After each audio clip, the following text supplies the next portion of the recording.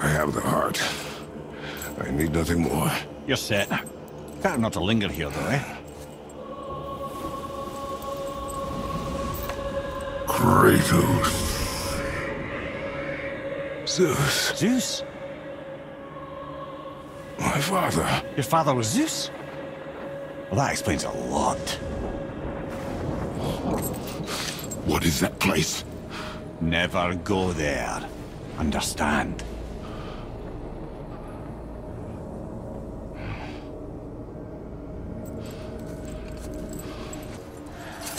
Sorry, brother. I'm still stuck on what I heard back there. Zeus was your father? Not now. We should focus on getting out of hell. And with that, I cannot argue. I'll just contemplate that little nugget in silence then. Your father was Zeus?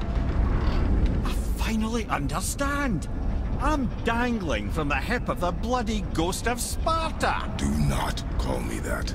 D- don't mistake me, brother. From what I heard, the Pantheon had it coming. It's still a bit to take in. I knew you hate gods, but you really can't stay away from them, can you? You must say nothing to the boy. He must never know. Bollocks, brother. Respectfully, bollocks. He has to know. He'll never be whole without the truth. Look, I get it. You hate the gods, all gods. It's no accident that includes yourself. And it includes your boy.